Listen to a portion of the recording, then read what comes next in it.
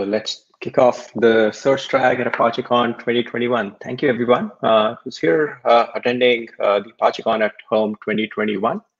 Um, our first speaker for the search track has been an Apache and Lucene Solr committer since 2012. A very active member of the community. Uh, he's a tech lead on Elasticsearch at Elastic during his day job. Today, he's here to talk about speeding up your Lucene queries by avoiding search. So please welcome Adrien. Thank you, Shum. Let's start. So I'm going to try hard not to use the entire time for this presentation so that we can have interesting conversations in the end. So let's start. So I move slide first. Can you see that? Can you see the new slide? Yes, I'm going to assume yes. So I can skip that slide actually because Anshum already gave a great introduction for me. So let's start.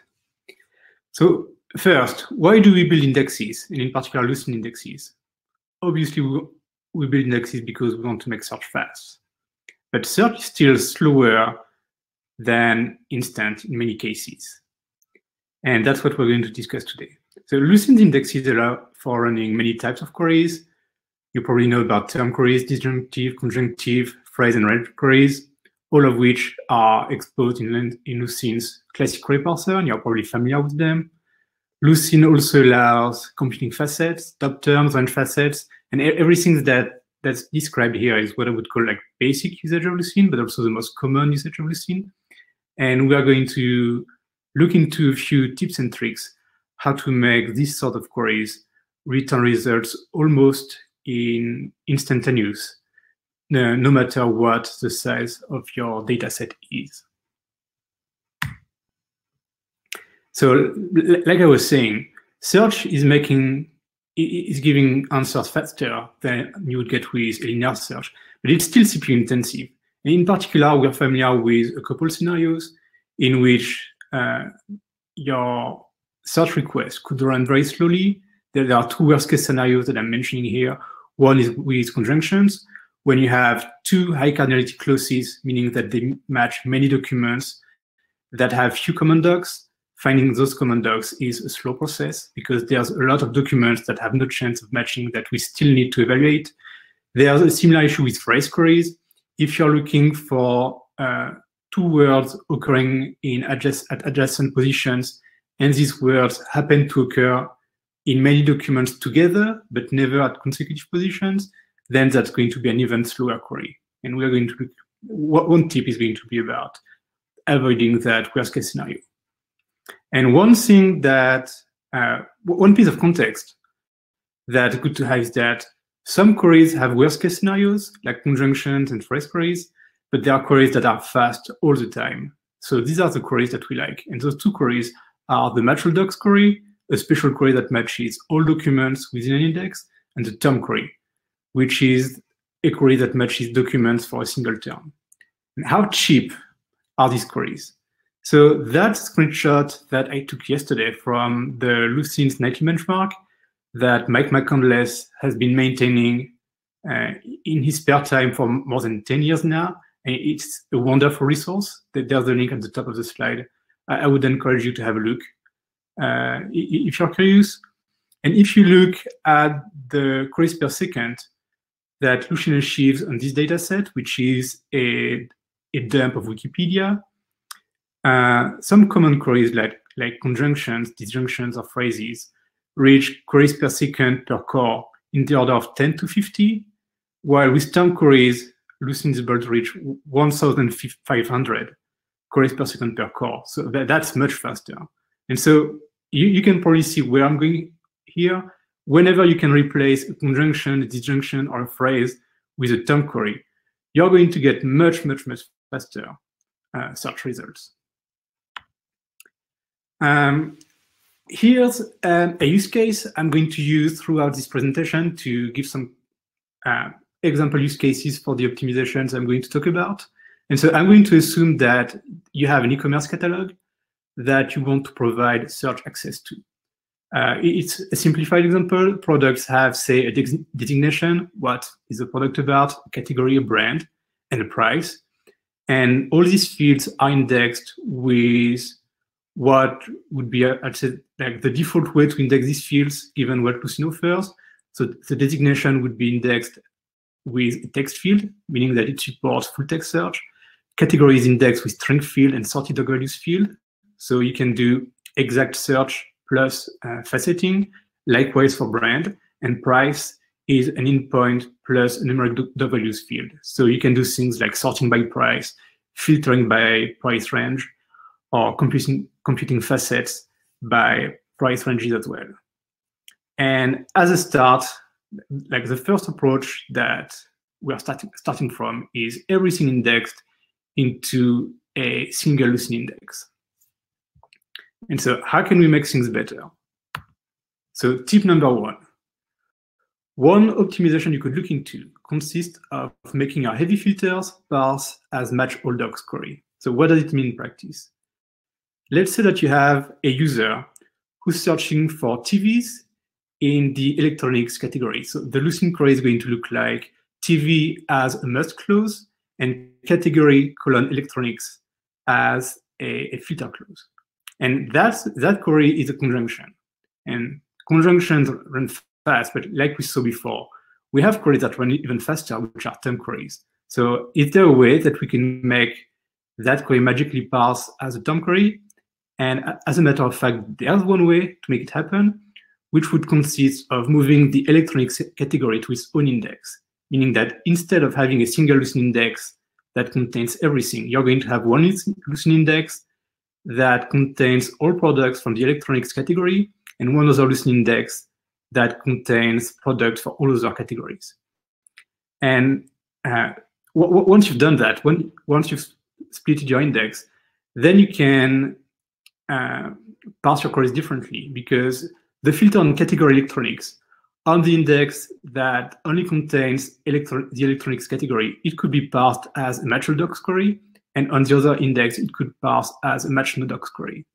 And what does it help? We still have conjunctions except that in the first case, when there's a filter on a match docs query, Lucene is going to rewrite that query as a term query on TV. And so we are back to having a single term query that we've seen before is much faster than running a, a conjunction. And in the second case, there's a filter on a match no docs query. So likewise, through the rewrite process, Lucene is going to very easily identify that this query has no chance of matching a single document in your index. I gave an example with the electronics category, but obviously you'd like to do this uh, with multiple filters, most likely multiple categories. So which ones should be migrated to their own index? There are two factors that you need to take into account. One is how many documents does this query match? And the second one is how frequently is this category used for filtering? And the reason why it's important is that categories that have the highest number of products, if you move them to their own index, that's going to especially help with tail, tail latencies because you're going to make your slowest queries faster because high cardinality filters are more expensive than low cardinality filters. On the other hand, if you try to move frequently used, frequently filtered categories first, then you're going to optimize for average latencies. And most likely, you're going to look into a combination of those two factors in order to make a decision on which categories should be migrated to their own index. And that, that, that, example that I gave consists of moving a very simple filter, a term query, uh, to, to its own index. But that also works with more complex filters. Like it, it would be possible as well to move all documents that are from the electronics category and from the Apple brand to their own index if you identified that that was a frequently used filter, for instance. And, and then you're also going to speed up queries when they're filtered by brand. So there's no there's no end to, to that optimization tip. You can use it with whatever filters you want. One thing you need to be careful with is that you should be careful not to extract too many filters to their own index because obviously you don't want to end up searching thousands or tens of thousands of Lucene indices. That's going to introduce new inefficiencies. So that advice should be used with care.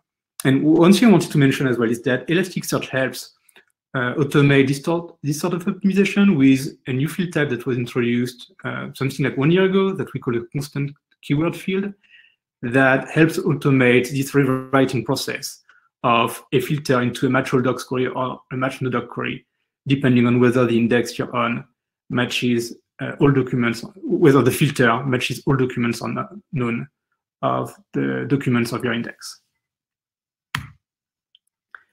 So that was tip number one.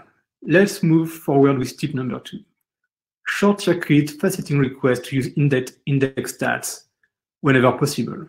So that one is not about optimizing uh, the request for top hits, it's about optimizing your faceting request. And there's one case when faceting requests, in particular term facets, are very cheap to compute. It's when your query writes to a match all docs query and your index has no deletions. Because when that happens, then your top terms are very easy to compute because they're already pre-computed in your inverted index. And that's because the terms dictionary already includes the document count for every term in your index. So that doesn't feel very applicable at the start, right? Because that only works when you query the match all docs query. Except that if you apply the previous advice and you also extract your most commonly used filters to their own index, uh, then you're going to end up with a match all docs query whenever users start browsing your catalog uh, by using the most common filters. And so whenever they do that, you're going to be able to return term facets for any field like the branch field in constant time by, by just iterating the terms that exist in your term terms dictionary. Um, there's maybe one example that's worth mentioning when that often happens with Elasticsearch.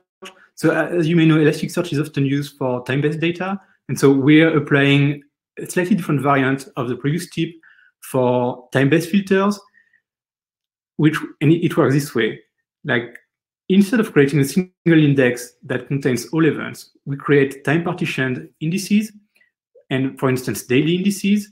And this has a great benefit that if you filter by say all the data from last week, then you're going to have two indices, the two indices at the extremes that are going to partially match, but all the indices in between, uh, indices from day two, two, three, four, five, they are going to entirely match. And so the range filter on the timestamp on those indices can be rewritten to a natural log query. And again, that's very useful because that means that on all these indices, uh, term facets can be computed uh, instantly. So that's something that actually uh, applicable in the real world in, in some cases. And I mentioned the case of term facets, but I'm hopeful that that's something we are going to be able to do with range facets in the future too. And there are two Lucene uh, issues that we are tracking for that purpose. The first one got addressed something like last week or the week before, and it's about adding a way for queries to optimize the way that they can count the number of matches per segment. That's a new weight uh, count API. And there's a separate discussion about changing the API we use, we use for points.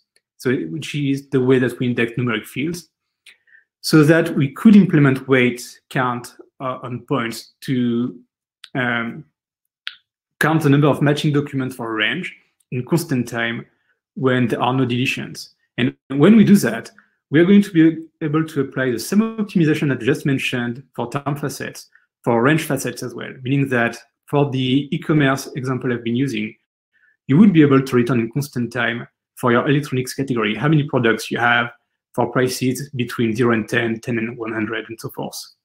So that, that's something that's also going to be applicable in real world examples in the near future, near future that I am eager for Lucene to, to implement. A new tip, tip number three, use index sorting to speed up conjunctions.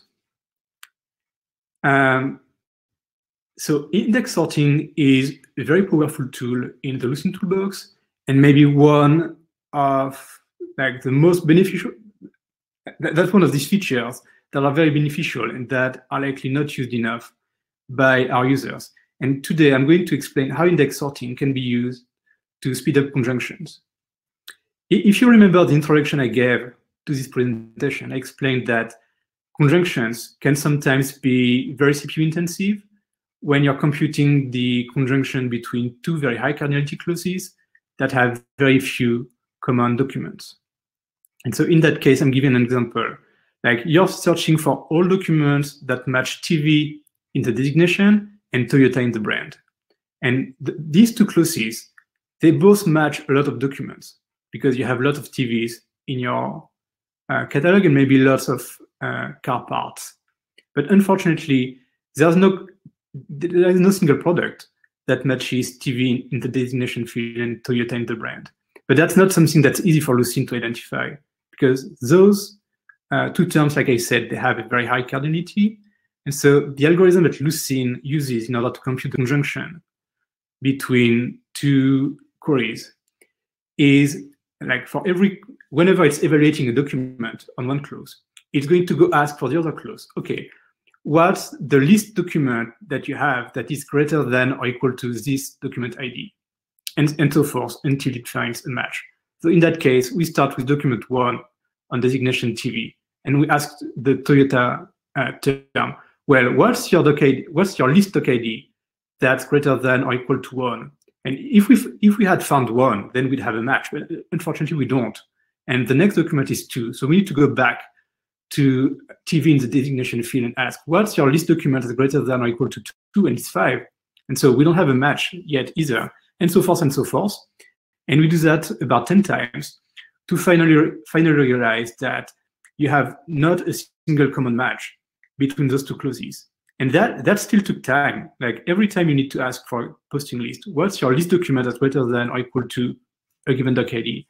That's a wasted, that's wasted CPU cycles. And in, in that example, we are jumping about 10 times because there are about 10 doc IDs per posting list. But you can, you can very easily imagine if you had a catalog with millions of entries and posting lists of like hundreds of thousands of doc IDs, how the number of jumps that you need to do in order to identify the common matches between the two posting lists would also grow linearly to a very high number that would make that query slow to evaluate. And there's one way that you can avoid that worst case scenario, which is by using index sorting. So in the second example, I'm using an index that is sorted by brand. And a natural consequence of sorting by brand is that all documents that have Toyota as a brand are going to have adjacent doc IDs. So in that case, the Toyota brand gets associated with doc IDs between 6 and 13. And because there is no common doc between TV and Toyota, this means that there's no doc matching doc ID for designation TV in the 6 to 13 range. And so when, when conjunctions are going to try to compute the intersection between those posting lists, first, we, we still start with the designation TV and find the doc ID of 1. Then we ask Toyota, what's the list doc ID that's greater than 1 that you have? in 6. Okay, no match. Then in, designation TV, what's the list doc ID greater than 6? 14. And by only doing three jumps uh, across those two posting lists, we already realize that there is no single common match between those two posting lists. And what's very powerful is that, again, in, the, in that example, you only had two doc IDs, but that would still be applicable if you had a posting list of millions of entries. Like even if you had 1 million matches for designation TV and 1 million matches for brand Toyota, it would still only require three jumps to identify that there's no common jump. And so that uh, calling so those jumps they're called advance in Lucene. And calling that only three times really returns very quickly. So you would know within a millisecond that you have no common matches between those two clauses. And I, I this example with two clauses that have no common documents because that's probably the easiest way to understand why index sorting is helping. But it turns out that index sorting is also helping in the case when you have many common documents between your clauses because it boils down to evaluating your, like, say we're still taking this example of sorting by brand Toyota. If we had common matches between designation, designation TV and brand Toyota, finding the intersection between those two posting lists would consist of evaluating designation TV on a given range of doc IDs. And it turns out that that's, that boils down to evaluating a term query on a subset, a sub-range of the doc ID space. And while it's not exactly as fast as the term query, it gives you very similar performance to what you get with the term query. So again, we'd be back to performance that's one order of magnitude faster than what you'd have if you didn't sort your index by brand. It's probably worth mentioning, I gave this example by sorting by brand, which is a, a, keyword field, but you would get exactly the same benefits for range queries if you had your index sorted by price. And, and finally, you can also make it work, work with multiple fields by sorting by all fields in sequence, assuming that these fields are low cardinality. Like for instance, it, it would probably make sense on that index to first sort by brand and then by price. Ideally, you, you'd put the low cardinality field first, which is going to help with the performance of, of fields that are a bit further from the start. Uh, like say you would sort by brand and categories and maybe something else, the performance benefit is higher for the fields that are closer to the beginning of the sort specification. And yep, that's it about index sorting. Uh, very powerful tool in the Lucene toolbox, probably one of the um, Lucene feature that would gain to being known much, to being known more. And the, the last tip I'm going to talk about in this presentation is using shingles for phrase queries. So first I need to explain how phrase queries get evaluated. Phrase queries get evaluated in two, in two stages. The first stage consists of using the conjunction of the terms as an approximation for the phrase query. If you're looking for all the documents that contain the phrase Apache Lucene, then that's only possible uh, for documents to contain that phrase if it also contains Apache and Lucene. And Apache Lucene is a much cheaper query, so we use it as an approximation. And that's useful when you do filtering because we can evaluate the conjunction with your other filters before we can move forward with more uh, expensive checks on positions. And by the way, this is the second stage of the phrase query, which is about checking positions to verify matches. So whenever we find two documents that contain both Apache and Lucene, we, we are going to iterate their positions, meaning the positions at which those terms occur, and see whether we can find two consecutive positions at which we can find these terms. And phrase queries are bad because they have two worst case scenarios. First, they use conjunctions as an approximation. So they have the exact same uh, worst case scenario that conjunctions have. Like when you have two terms that have very high cardinalities, but they never occur in the same document. And you have another worst case scenario, which is this time specific to phrase queries, which is that they get slow whenever you have documents that many documents that contains the term you're looking for, but never consecutive positions. Because on all these documents, you're going to iterate positions, and iterating positions um, it, not slow, but if you need to do it across millions of documents, that makes a slow query. So what can we do about that? Th that's one way that you can uh, solve two problems with one solution, which is by indexing um, shingles for your fields. So what, what, what do I mean by shingles? Shing Lucene has a shingle filter that allows you to index consecutive terms together. Like if you were indexing Apache Lucene is a search engine in Lucene, you would index first phrase Apache Lucene, then Lucene is, is a, a search search engine. And every time those two consecutive terms uh, would be indexed as a single term to Apache Lucene. And that's a secondary index that you could use to run phrase queries. And that's something that we automate in Elasticsearch with, with uh, the index phrases option of the text field, but that you can also use with uh, Robustine in order to speed up your phrase queries. I, I, want to warn you that there's one downside of this approach, which is that it makes your indexes much, uh, much more, uh, much larger because those shingle indexes are going to take a lot of space because they are going to be many unique terms. But at the same time, they're also going to give you much better search performance whenever you can run your phrase queries via term queries instead. And something that's worth mentioning as well is that even in the case that you were to run a phrase query on more than two terms, like, uh, I don't know, uh, Apache Lucene query, for instance, if you were to run this as a phrase, you would be searching, you could be searching on the conjunction between Apache Lucene and Lucene query, and most likely these two shingles are going to have a much lower document frequency, so number of matches, compared to Apache, Lucene, or query uh, taken on their own. And so that conjunction is going to run much faster than the conjunction that, that's used for approximation that would be Apache and Lucene and query that you would run on your primary index that indexes uh, terms as is instead of shingles. Um, so that's about everything I, I had to, to, tell you. We still have some time for question, and I'd be very happy to have a conversation about what we just discussed. So let me know. Any questions? Thank you, Adrien. Um, we have we have one question here. Um, it's a from Artem. It says, if you split your indices into two categories, wouldn't be the scoring affected if you search among these two indices at the same time? Just IDF distribution, I guess, is what they're concerned about. Yes, uh, th th that is correct. So you, you need a bit more plumbing if you want to preserve the same scoring you had before. And Lucene has a way to enable you to override the global term statistics. And by, by, the way, that's a feature that's exposed, I believe, in Apache Solr and, and Elasticsearch, for instance. So that's easy to use.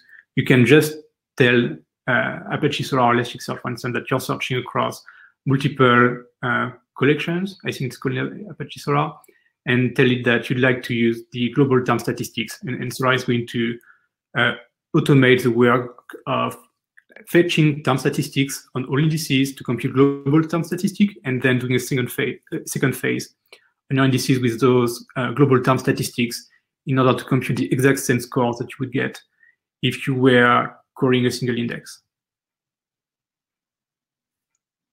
So um, there's a second question that seems to be an Elasticsearch thing. It says related to index sorting. There's a link to index module index sorting uh, the question is, is that the documentation part of Elasticsearch explaining that point? I that's don't know correct. if you want to, that's correct? Okay. Um, then we have a question from Mike. Uh, no deletion seems like a very hard constraint for reading the term frequencies when you're updating documents. Uh, what are your recommendations here?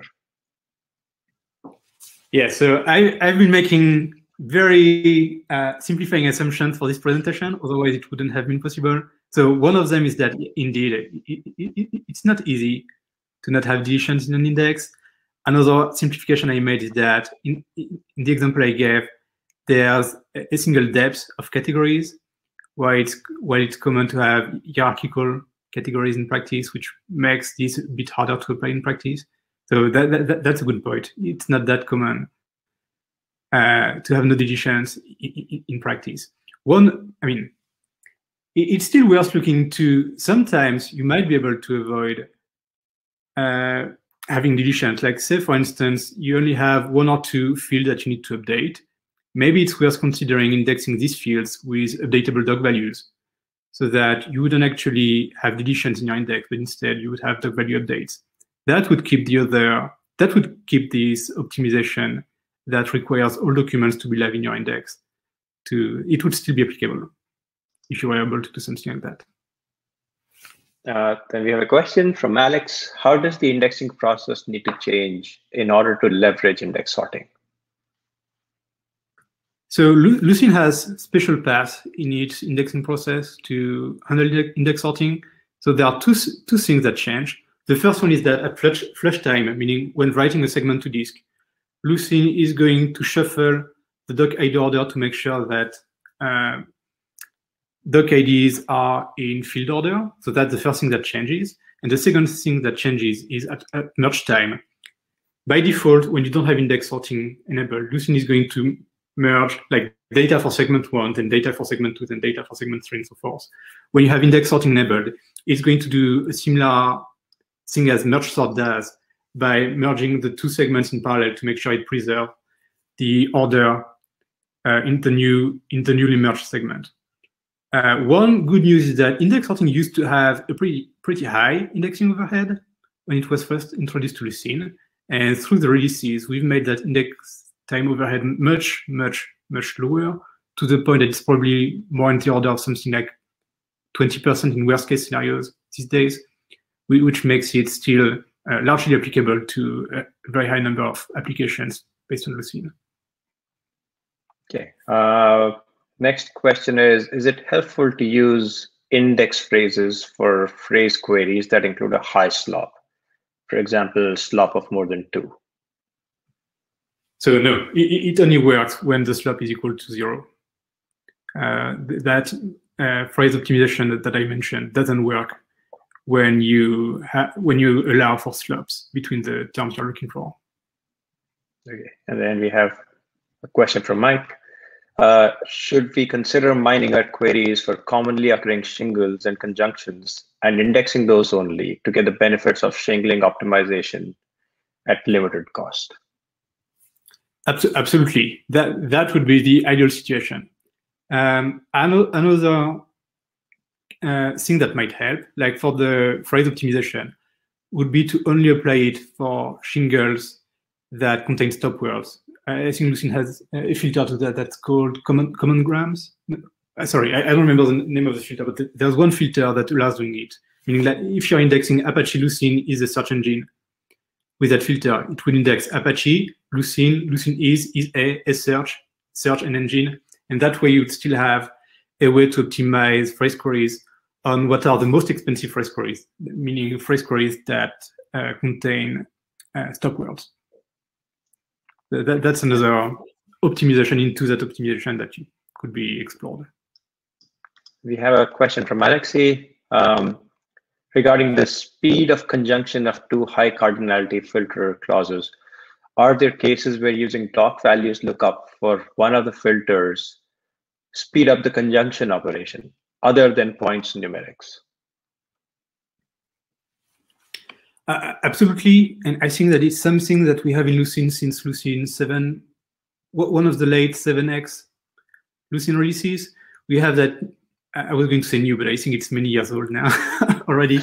Uh, index or doc values query, which is a query wrapper that, that, that exists in Lucene that tries to pick points or doc values depending on which one it thinks is going to be the most efficient. And the way that this optimization works uh, in practice that if the query is likely to lead iteration, then we're going to use points because we'll need to iterate to evaluate most of the document that the range matches anyway. But on the other hand, if you already have a very um, a locality clause that that you can use to drive the iteration, maybe it's better to use doc values uh, to check the documents of that other clause instead of evaluating all the matches for the range using points. So that, that's definitely a worthwhile optimization, and there's already tooling in Lucene for it. Okay. Any more questions? Okay, we have more. Uh, in a lot of queries on large index indexes, uh, faceting is a major bottleneck for performance. Any tips or tricks on improving faceting performance?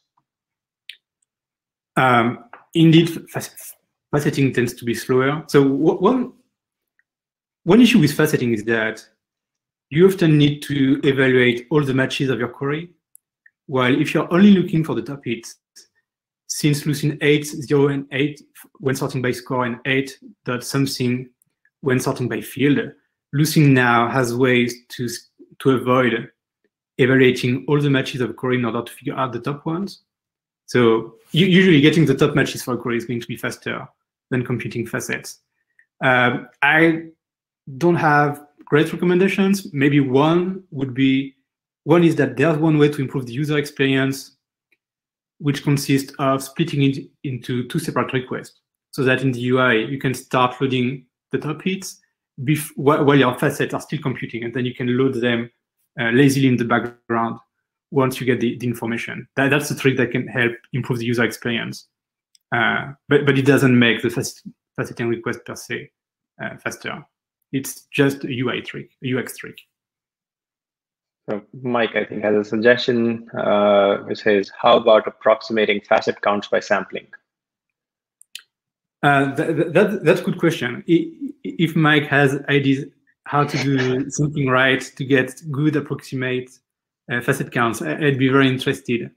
Uh, in general, it feels hard to me to select um, like a subset of your docID space that's still representative of your entire docID space. But may maybe maybe there are tricks using index sorting or other docID, other approaches that uh, reorder docIDs that makes this sort of approach better? I, am thinking of that. I, I, don't have concrete ideas, but that, that, that definitely sounds in, interesting. And if Mike has ideas, uh, I'd be very interested in discussing that sort of stuff. That, that's indeed exciting, given how facets tend to be a bottleneck for such applications. So Uwe also has something where it says you can also ignore deletions and non-document uh, non-document hits and just scale the facet counts from term dictionary. Yes, so it probably works in certain cases, but that assumes that the documents that match your filter have about the same distribution as the entire set of documents you have in your index, which I am sure is not always true. So I'm sure it can work in, in certain cases, but probably not all.